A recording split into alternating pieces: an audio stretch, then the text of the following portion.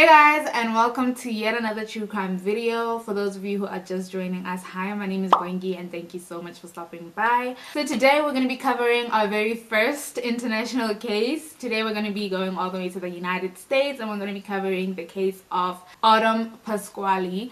But you already know that before I get into the video I have to issue out my usual disclaimer that I mean absolutely no disrespect to anybody that I'm going to be talking about in this video and all the families that were and are affected by this case This video is purely for educational purposes and all the information that I'm going to be talking about was gotten off of the internet and simply compiled into one video.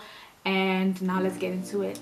So Autumn Pasquale was born on the 29th of October 1999 in New Jersey to parents Jennifer Cornwell and Anthony Pasquale. She was described as a well-behaved and responsible young lady who barely got into any trouble and just always did as she was instructed. Like she was just really, really responsible. When she was just three years old, her parents unfortunately got a divorce and Autumn and her older brother AJ and younger sister Natalie all had to move in with their father in Clayton, New Jersey, but they would visit their mother from, you know, time to time. A few weeks before Autumn's 13th birthday, she started browsing the internet looking for the perfect gift to mark her 13th birthday. She was going on different sites and different Facebook pages just looking for this perfect gift until one day she came across a white BMX bike that was up for sale on eBay and she instantly fell in love with it. She showed her father the picture of the BMX hoping that her father would get it for her and indeed he did. She was absolutely in love with her bike. She posted about it, she posted it, she rode it everywhere she went and everybody just knew that Autumn and her new white BMX bike were inseparable. She also joined a couple of Facebook groups and other things of that nature, just looking for people to trade bike parts with in order to make her bike look more appealing. And of course, as she was doing this, she was also talking to people who she didn't really know, like she was talking to strangers. And Anthony did try to check his kids' social media and try to make sure that they weren't talking to anybody that they weren't supposed to. But of course, it was difficult to keep track of everything. I mean, I wouldn't know where to start. So I'm assuming that he probably knew about this, but he wasn't going through every single person that Autumn was talking to, you know? Yeah. But anyways, one night as Autumn was browsing through Facebook as she usually did, she came across a picture of a BMX with blue handlebars and she posted a comment underneath that picture asking if the BMX belonged to the person who posted it. She immediately got a response from the person on the other end saying that it did belong to him and Autumn said that the blue handlebars would look so good on her new white BMX. So the person on the other end suggested that he and Autumn meet up to exchange some bike parts. Autumn was used to meeting up with people to exchange bike parts and over and about that this is somebody who lived in her small community so I'm pretty sure that nothing seemed out of the ordinary about this person and so Autumn agreed to meet up with him. On the Saturday of the homecoming weekend, Autumn's big brother AJ was playing in the homecoming game and Anthony was gonna go watch him play and just support him but Autumn had plans to meet up with her Facebook friend to trade bike parts. She told Anthony that she was gonna go meet up with a friend and Anthony agreed telling her to be back by her 8 p.m. curfew. Autumn had a lot of friends and Anthony didn't know which friend she was referring to this time around but like I've already mentioned earlier on Autumn was very responsible and I'm pretty sure that there was nothing that seemed out of the ordinary about this particular meetup so Anthony agreed and they both left their house and went to their different destinations but not before telling each other how much they love one another. At around 8 p.m. that night, Anthony went back home from the game, hoping to find Autumn already home, but she wasn't. This was the first time Autumn was late for her curfew, so Anthony decided to give her some more time. After all, it was the homecoming weekend and she had probably lost track of time with her friends. That's what he thought. But when 8.30 came and went with still no sign of Autumn, Anthony began panicking. He called Autumn several times and even sent her multiple text messages asking where she was and also asking her to pick up the phone or just come back home. But Autumn was not picking her phone up nor was she responding to his text messages.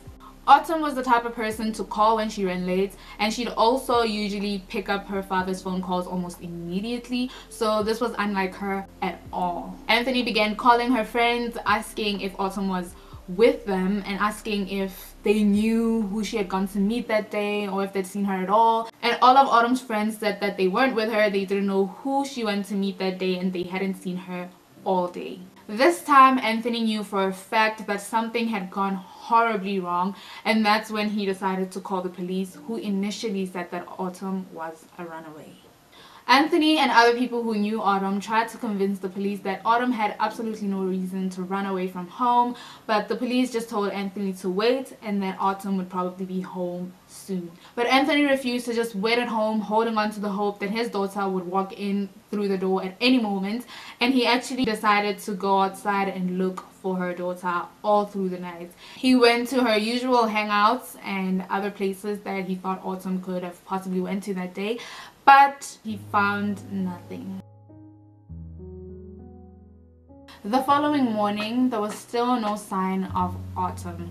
The police questioned Autumn's neighbors and some of her family members, although at this time they were still thinking that she was a runaway. The people in the small town also woke up to the news that Autumn Pasquale was missing and some of them even started looking. Barb DeFrance was also one of those people. Barb was a friend of Anthony's and she had been searching since the early hours of the morning looking for clues that could help pinpoint Autumn's whereabouts. They were trying everything they could and even set up a Facebook page to try and help find Autumn and this Facebook page almost immediately blew up. There were people from neighboring towns who also came to look for Autumn. And there were some people from the community who also had some search parties and spread out over the area looking for Autumn. And there were also some candlelit visuals you know that were made for Autumn. Like the community was just doing anything and everything to try and show that they were in solidarity with the Pasquale family. In addition to creating a Facebook page for Autumn, the family also reached out to a missing persons investigator called Joe Nick. 24 hours had already passed since Autumn went missing and we all know that when dealing with missing persons, time is of the essence. The quicker the investigation takes off, the greater the chances are of finding the missing person alive. Anyways, so Joe first went to the Pasquale home and went to Autumn's room. He wanted to see what type of person Autumn was and what type of life she lived. And he says that when he got to Autumn's room, he instantly knew that Autumn was definitely not a runaway. He says that her room was filled with love and he could tell that this was a kid who had absolutely no reason to run away from home and he knew that he had to start with his investigation right away. From Autumn's house, he spaced out, asking almost everybody in the neighborhood some questions because he believed that someone, even if it's just one person, someone must have seen something. He had also heard that Autumn had left his house to go and meet up with somebody to trade bike parts that day. So as he was asking these questions, he was also asking about people who were known for either fixing bicycles or trading bike parts. And as he was asking his questions, he kept hearing about the Robinson brothers. Dante and Justin Robinson kept popping up more than twice, but they were not known for fixing or trading bike parts.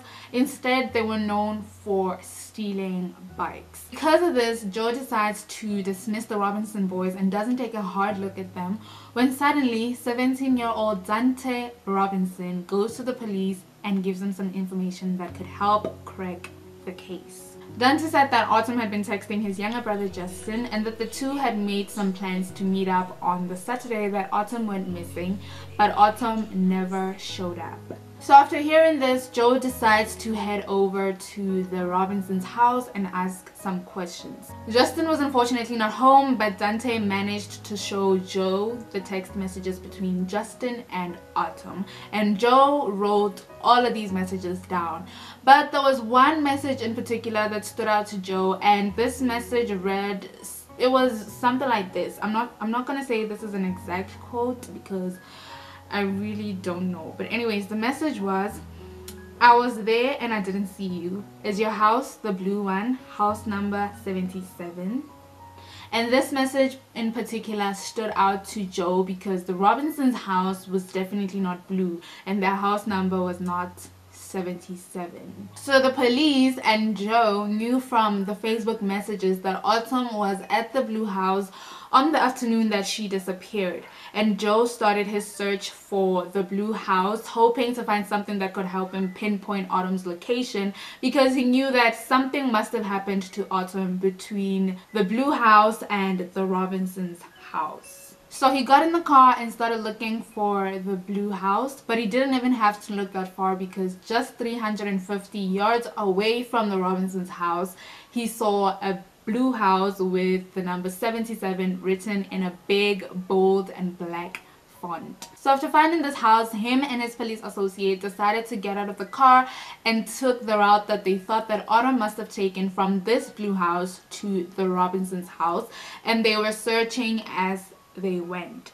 Joe was looking at all the spots that he thought that somebody could hide at and that's when he came across this old abandoned and worn down factory and he decided to walk inside the yard and look around the factory because the factory had a lot of hiding spots. But anyways as joe was looking around he couldn't find anything but he did see a broken fence and decided to go through the broken fence to see what was on the other side. To his surprise when he got through the broken fence he found himself back at the Robinsons' house. But this time he was in their backyard. So he looked around the backyard trying to make everything make sense. And he saw a bicycle parked at the corner of the yard. And he also saw a bike track on the dirt ground. And this bike track was leading into the house through the back door. So Joe pulled out a dollar bill and measured what he thought would be the width of the tire on the bike track and then he also went to the bike at the corner to measure the tires but the tires of that particular bike were significantly thinner than the ones on the bike track. And Joe says that the bike track looked like a BMX track, so he knew that he needed to go back inside the house and talk to Dante again. He asked Dante where he was and what he was doing on the Saturday that Autumn went missing while his brother was preparing to meet up with Autumn. And Dante told him that he was actually in the basement working out he also agreed to let Joe in to see his weights and like other equipment but this was just a strategy that Joe used to get to the basement because he knew that he was gonna walk through the house and he would like look around and he also just wanted to get to the basement. So when they got to the basement, Dante shows Joe where he was supposedly working out on Saturday and Joe finds it interesting that there were no hand or knee imprints on the dirt ground in the basement. And you know you'd expect to see something some imprints knee imprints hand imprints footprints something on the dirt ground if somebody was working out there you know? And there was also a bike track that was similar to the one outside in the basement but there was no bike inside but anyways, Joe didn't ask about this bike track and he just continued looking around.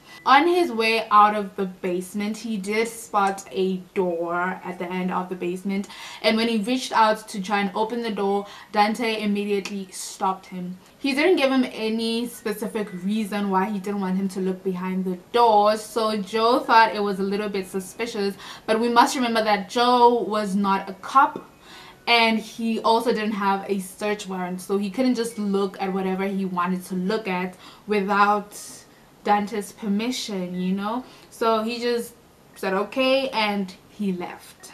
He reported everything that he saw to the police and that's when the police decided to get a search warrant and searched the Robinsons house. At around 11:30 on Monday night Autumn Pasquale's body was unfortunately found upside down in a recycling bin behind the Robinsons' house. Apparently, the recycling bins were cleaned out on Tuesdays, so some people speculate that the boys put her in there hoping that she would get thrown out with the trash as if she were trash. When Autumn's family was informed about the police's grim discovery, they were devastated. I think it's safe to say that this is every family's worst nightmare, but unfortunately for the Pasquale family, their worst nightmare had just come true. And this was even more devastating because the Robinsons lived just seven doors down from Barb's house. Remember, Barb was very close to the family, so you can just imagine how devastating it was and how sad the whole thing was. It was just heartbreaking, honestly. Her phone was found in the Robinson's house and it was taped behind a toilet. Her pens were also found sealed in a bag on top of a table in the basement and her white BMX was also found inside the house and it was behind the door that Dante wouldn't let Joe open. A medical examination confirmed that Autumn had suffered blunt force trauma and that she had died from strangulation. The day after Autumn's body was found, one of the Robinson brothers confessed to killing her, but it was not 17-year-old Dante Robinson. It was instead 15-year-old Justin Robinson, who was Autumn's Facebook friend. It is believed that Autumn agreed to meet up with Justin in order to trade bike parts, but Justin had other plans. When Autumn couldn't find his house, he told her to go through the factory that led to his backyard because he didn't want anybody to see her go into his home. He also invited her in, but once she was inside, he initiated his plan to steal her bike. She was insanely in love with this bike, so she probably just wasn't gonna let somebody steal the bike. So when she put up a fight, Justin punched her and then killed her for her bike. In 2018, Justin also made a statement claiming that he and Autumn had agreed to meet up because Autumn wanted him to either install some bike parts or fix her bike for the price of $10 and once he was done doing that um, Autumn didn't want to pay him and she jumped over her bike and punched him.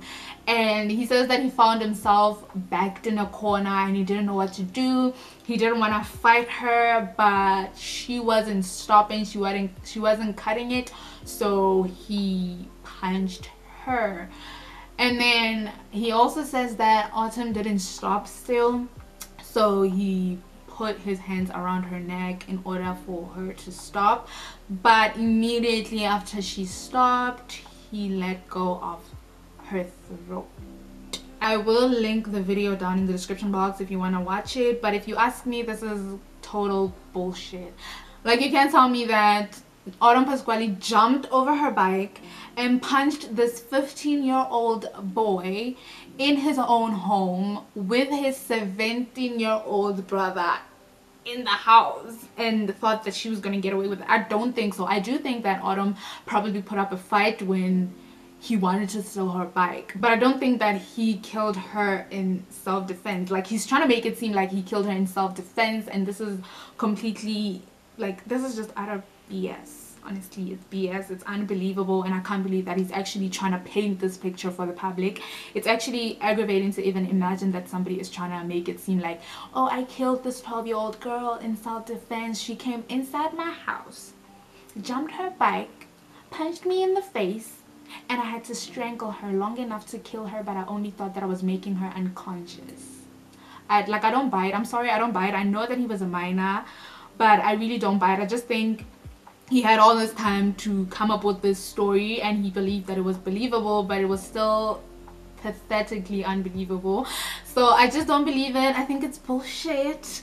But you guys feel free to, to tell me what it is that you think in the comment section down below.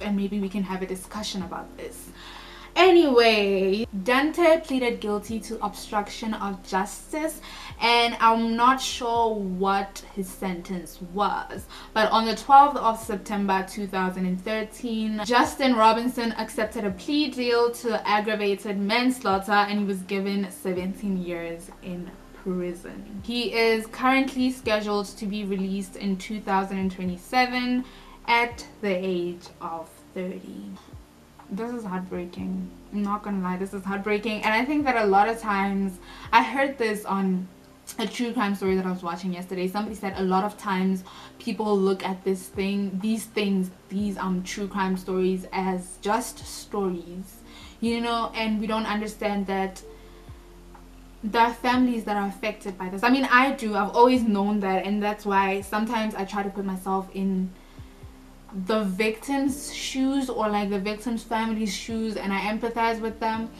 And that I think that's why I can't get over the like I just can't get over her murder and I can't get over the events that followed and I can't get over this 2018 statement that this boy tried to make in order to make himself look like the victim in this whole thing